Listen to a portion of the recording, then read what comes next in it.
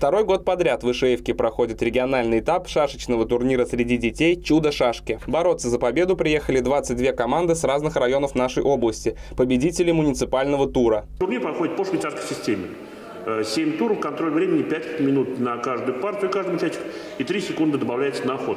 Играет команда на команду.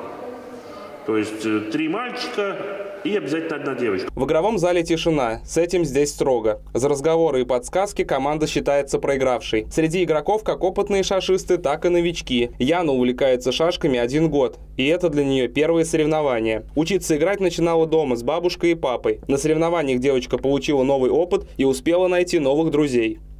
Это очень интересный вид спорта, который мне по душе. А чем он интересен? Почему он тебе так нравится?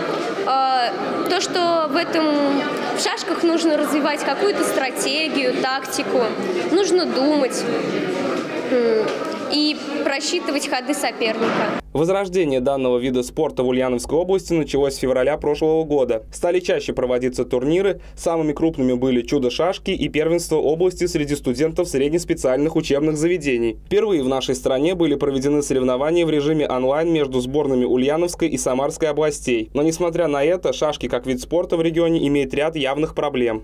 Я хотел бы отметить, что главными двумя проблемами развития шашек сегодня являются, во-первых, очень сильный дефицит тренерских кадров для того, чтобы создавать шашечные кружки и секции в районах и городах области. И вторая проблема – это возрастной разрыв. Главная цель Федерации на сегодняшний день – растить достойную смену. В этом залог будущих побед. А победители регионального этапа отправятся в Москву на финал. Кирилл Савосин, Геннадий Бухтаяров, Управда ТВ.